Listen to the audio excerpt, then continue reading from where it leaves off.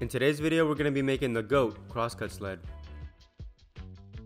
It features a Kreg precision track and stop system, Microjig dovetail grooves, as well as replaceable inserts, an extension fence that attaches to the sled so that I can make longer cuts. I've posted links to all the products that I used in this video in the description and I'm also posting my Instagram so that you guys can follow along in if you're interested.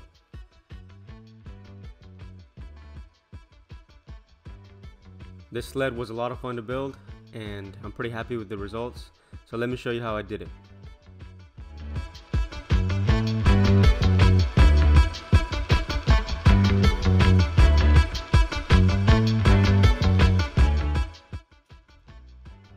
I decided to try out the MATCHFIT dovetail system in this sled and I actually enjoyed using it. It's really easy to set up. Um, if you have a nice uh, router table like this, all you have to do is just set it to the correct height and uh, just start making your grooves on your piece. I ran several grooves along different pieces of the sled and then it was ready to be glued up. Just wanted to pause real quick and explain that the base of the sled, as well as the left, right, and removable insert are all made out of half inch plywood, um, and then they're going to be assembled together using some glue. Okay, so before continuing the build, I just wanted to go over where I'm at right now and show you kind of what the rest of the sled's going to look like. So I'm using nothing but half inch plywood. This is going to be the base. It's basically, basically going to be layered up. So I have the base, and then I have my right side, which already has the grooves cut in it. And this is gonna be my replaceable insert here that I can always swap out. It's a four inch insert. And then I have my, my left side. So I'm gonna glue this all together. These two pieces, this one's gonna be removed once it's these two are gluing so that it doesn't all glue together. And then once these are glued in together, then I'll add the miter slots at the bottom and we'll go from there. So I'm gonna, I am gonna use a little bit of this Starbond CA glue to kind of speed things up a little bit to get this glue going. I'll just put a few dots everywhere and and then I'll use the accelerator just to throw it on there. Need this to glue up quickly.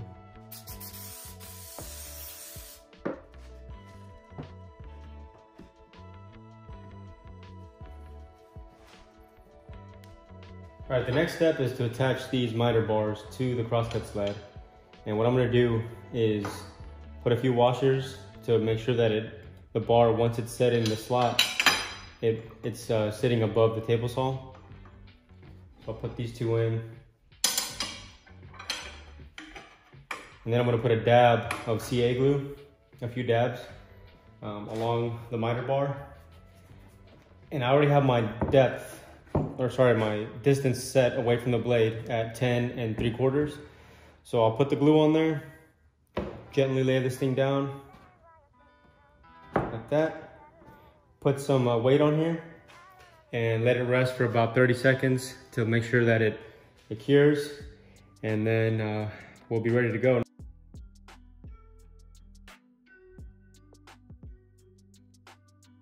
All right, so as you can see here, I put these clamps on here. I knew they are pretty heavy.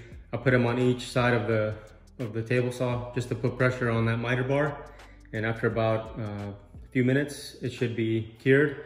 I'm gonna take them off, I'll flip it over, and then I'll screw in um, in the slots on the miter bar, and it'll attach it to the to the crosscut sled person, uh, permanently, so it'll be ready to go. So I'm gonna use a self-centering bit to drill uh, some pilot holes in the miter, I mean in the uh, crosscut sled, and then I'm gonna secure the miter bars to the sled with some screws. And then I'm gonna flip it over and start attaching my fences, and this thing is pretty much almost ready to go.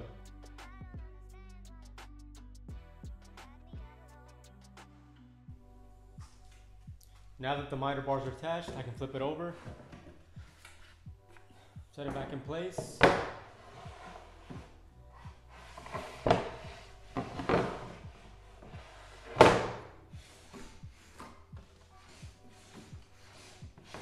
And we can start attaching the fence. I decided to take my track saw and make a few cuts to remove some of the bulk of the sled.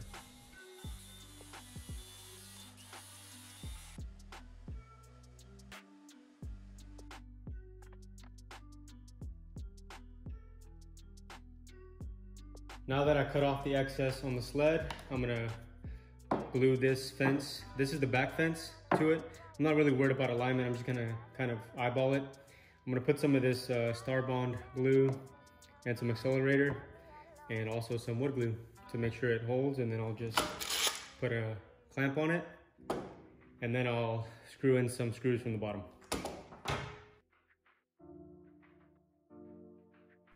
With the front fence attached, the base of the sled is done and we can move on to the actual fence.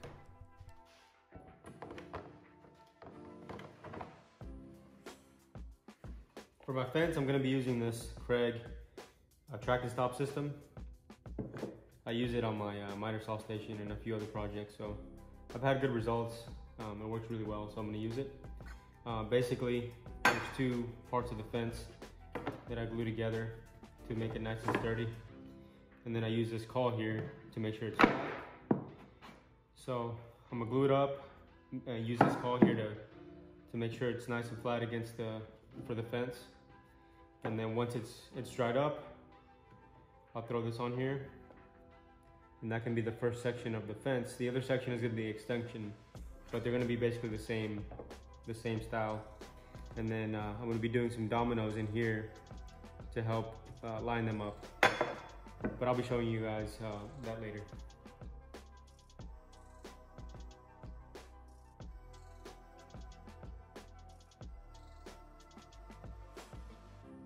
All right, so I almost forgot that I needed to make a replaceable insert for the fence as well. So I'm just gonna take a square and mark off where the fence needs to be replaceable. Doesn't have to be a sharp line, it can just be whatever.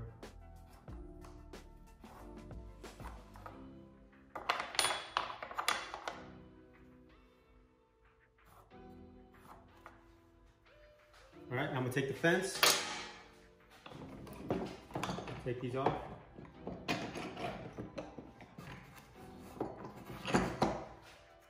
Take it to my miter saw and cut this out.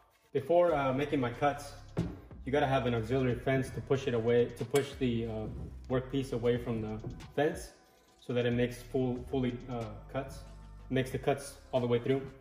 Um, I just put two pieces of plywood together and then you screw them in the back. It's gonna hold in place and then I'm gonna set my depth and make my, make my cuts. One of the best features of this Delta Cruzer is this little depth adjustment uh, ability. So I already set my depth uh, with this screw and then I tighten it up with this uh, wing nut. And as soon as I, as I uh, make my cut and I start cutting, it's gonna stop at the depth that it needs to be. So right there, it stops. It doesn't allow it to go any further. And now that I know that it's right here at this, um, that the cut's gonna end right here, I can kind of check with my piece to make sure that it's gonna cut right on that three quarter inch line. So gonna make a test cut and make sure that it works.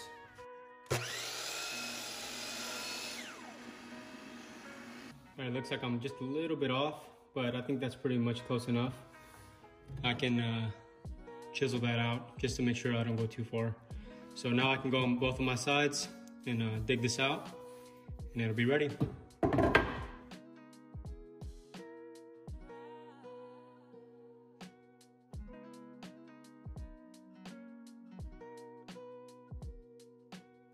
All right, so I'll clean this out.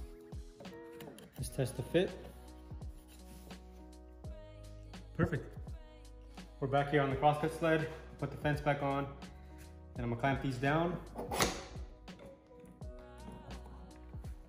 And attach the track.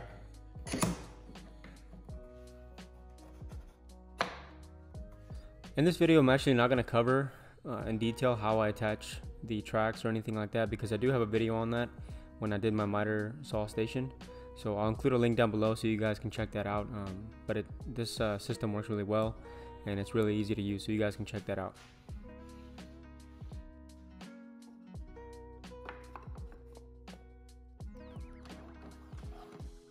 Alright, so while I still have my router bit set at the correct height, I decided to go ahead and add a, uh, a one of these dovetail tracks to the fence so that I can clamp things to the front if I ever need to.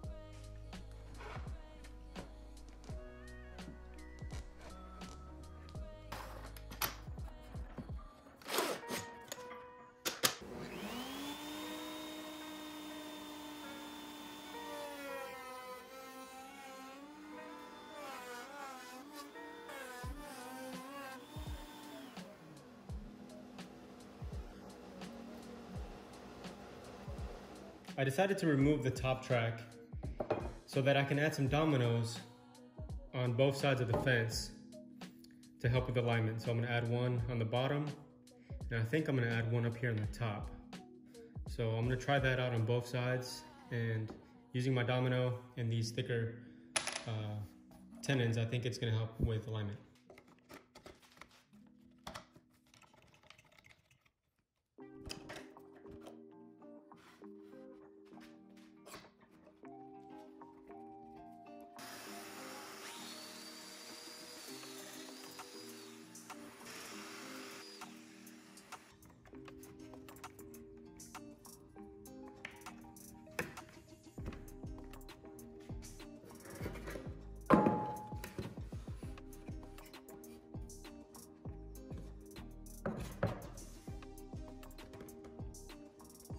Okay, so I've attached both uh, fences back on and the alignment works pretty well. Um, I can already see that it's gonna it's gonna be perfect up here on the top. Now, uh, what I'm gonna do is I'm gonna clamp this down to this flat surface and I'm gonna use this extra miter bar that I have and put it about there and I'm gonna screw in on this side of the fence, which is the extension. And on this side, what I'm gonna do is put in some threaded inserts so that I can uh, attach it whenever it's ready to be attached. So I'm not sure if it's gonna work, but I'm giving it a shot.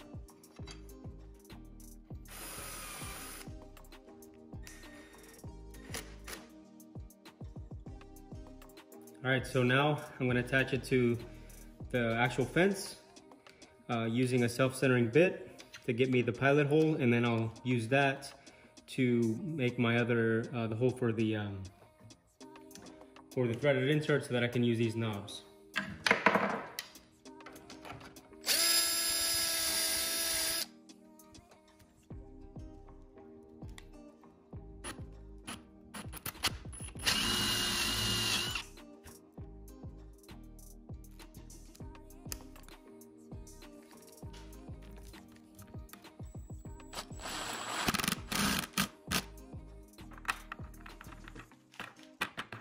Let's just see if this worked.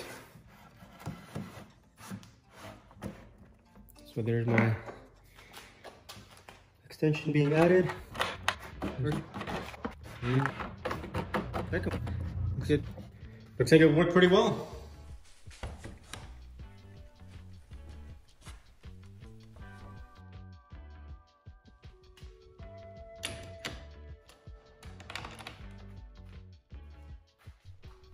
So it looks like uh, the fence is complete. I was able to attach the extension fence and the last step is to um, attach the replaceable insert on the fence. I just used some screws with the countersink bit and uh, drove those in. And then I also decided to add a quick uh, chamfer to the fence so that it would help with dust collection.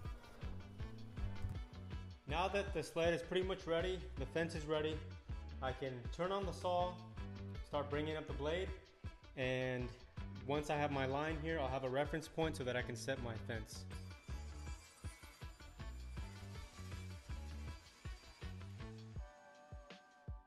I made sure that I didn't make the cut all the way through so that I have a reference point when I attach my fence and I can square it off of that. Okay, so I'm about to say something kind of controversial, but um, I've seen other people uh, say this and they have the same idea. Um, I used to use the five cut method when I was squaring up my saws or my, my crosscut sleds. And to be honest, I found just the same amount of results um, by just taking an old beat up square like this, just making sure it's square and using it to pivot your fence up against the blade, getting it square, making minor adjustments. You're gonna put a screw in on one side of the fence and use this as your pivot. And then once you know it's square, you come in, you can clamp it down put screws in along the along the fence and you're gonna get pretty much the same or if I mean you're gonna get the same result as if you went and took the time to do the five cut method. I've done both and I've found the same result so whatever works for you as long as it's square what does it matter? The sled is complete and I can go ahead and make my first cut. So I just take some scrap piece of wood clamp it down and make my first cut. Um, you'll see right here cuts right through it and then I'm going to take my square and test it against uh, the flat edge.